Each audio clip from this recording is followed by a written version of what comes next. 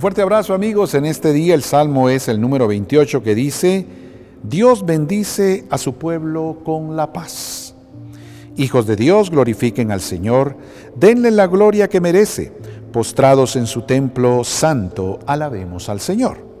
La voz del Señor se deja oír sobre las aguas torrenciales, la voz del Señor es poderosa, la voz del Señor es imponente. El Dios de majestad hizo sonar el trueno de su voz. El Señor se manifestó sobre las aguas, desde su trono eterno.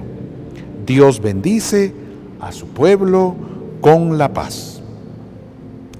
El Señor nos bendice de muchas maneras, con la vida, nos bendice con los alimentos, nos bendice con lo que me protege y los males que me evita, pero aquí dice, esta bendición o esto que me da Dios es la paz.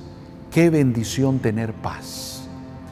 Y es que siempre lo hemos insistido que cuando hablamos de paz es en tres direcciones. Paz conmigo mismo. Cuánta gente entra en conflicto consigo mismo por sus errores, por sus falencias, porque no le agrada su historia, su país de origen, su barrio de origen Paz conmigo, paz con el prójimo. No confrontación, no resentimiento, no eh, animadversión, no beligerancia, sino paciencia, eh, serenidad, capacidad de comprensión, capacidad de escucha. Y paz con Dios, mi confesión. Me acerco al sacramento de la reconciliación para estar en paz con Dios. Dios bendice a su pueblo con la paz. Pidamos al Señor que nuestra vida y nuestro corazón estén abiertos siempre a construir la paz y nosotros mismos seamos, como dice San Juan Pablo II, artesanos de la paz.